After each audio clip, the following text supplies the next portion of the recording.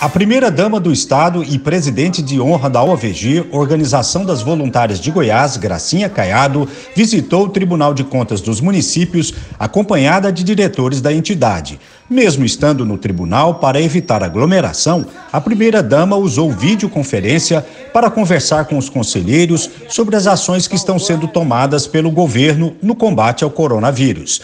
Gracinha destacou a solidariedade do povo goiano diante da crise na saúde e se disse preocupada com a situação econômica dos municípios. Durante a visita, o presidente Joaquim de Castro repassou recursos para a OVG adquirir 1.200 cestas básicas que serão distribuídas às famílias carentes do estado. Os recursos são de economia realizada pelo tribunal com empenho dos servidores. A primeira-dama elogiou a ação do TCM. É um momento em que todos nós passamos pela mesma angústia, a mesma insegurança, e quero dizer que essa contribuição do Tribunal de Contas do município mostra a responsabilidade, a solidariedade de todos eles com o povo do goiano.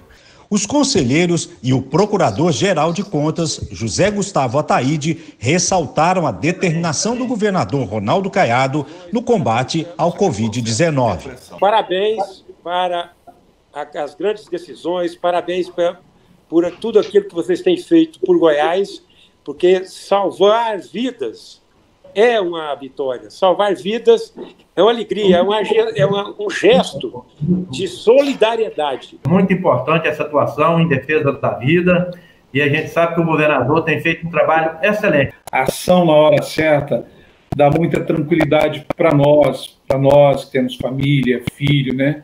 Enfim, para os goianos. Esse gesto do tribunal e esse gesto da senhora de pedir ajuda aos empresários, aos órgãos é, a todos que possam ajudar, isso é importante. Parabéns à senhora pelo trabalho e muito obrigado. O governador transmite a quem quer que seja a total segurança de que está atuando focado no bem comum, no bem de todos. Então é isso que importa, mesmo na, em ameaças invisíveis e graves como essa, como dito pela senhora, é a tranquilidade de que quem está nos conduzindo está com a melhor das intenções, está amparado e está atuando de forma transparente. A gente fica feliz por ver que o nosso Estado tem sido tratado com muita responsabilidade. Desde o primeiro momento, o Estado foi tratado, cuidado, guiado com base na ciência.